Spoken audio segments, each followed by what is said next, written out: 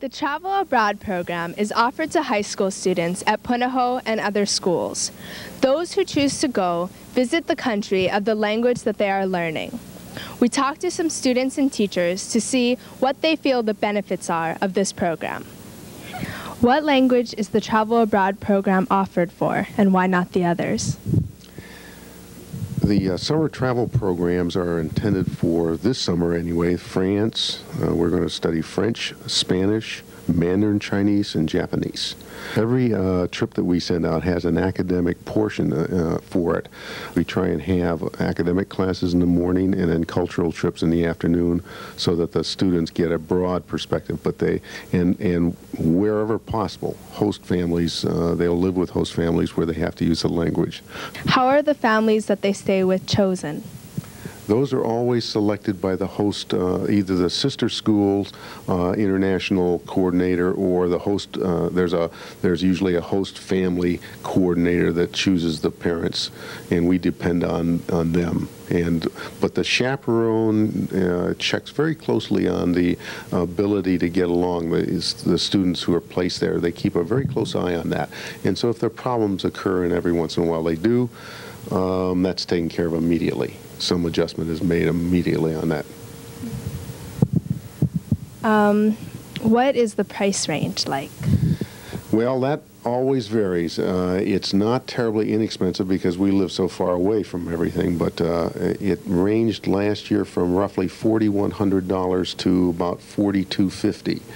And uh, there, the but the important thing is that um, that everybody has a chance on the outbound trips for some scholarship aid if they wish to or have to uh, apply. I took the trip to Spain and we tried to work mainly with the Spanish speaking students so they can actually use the language in real life uh, situations. But let's say you are Japanese and you want to go to Spain, uh, you could make it if, if you have minimal knowledge of Spanish. Even then, it doesn't matter because you will go to school there and you will learn the language at your level. On the Spain trip, how long do the students go for? The students go for six weeks. Four weeks they stay with the family. It's a home stay program. And the last two weeks we uh, travel all over Spain. What is the purpose of the program? The purpose of the program I don't think the first purpose is to have the student use the language as much as for the student to grow. I believe it's for inner growth uh, of the student. It is not important how much Spanish you really learn when you come back. I think it's more important what you experience and what you can do with it later on in life. I've met many of my former students who've traveled to Japan and found that many of their jobs now uh, require the use of Japanese, and I really think it's because of that first um, exposure in Japan, and they just sort of fell in love with the country, the culture, the people, and I think that if it does that for anyone, I think it's a.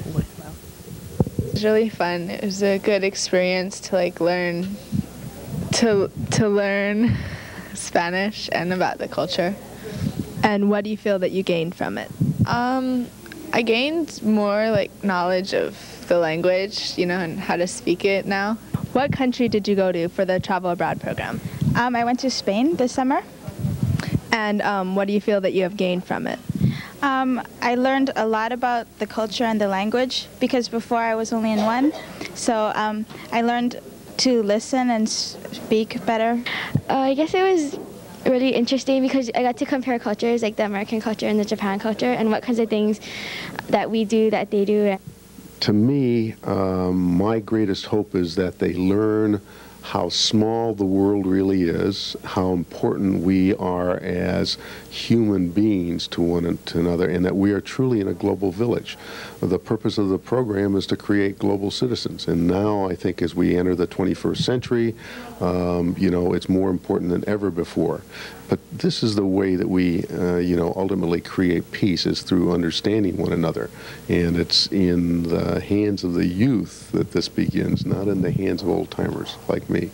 According to the students and teachers, the travel abroad program is very beneficial. And as Mr. Torrey said, the students are simply never the same. This is Lisa Hill reporting for Punavision.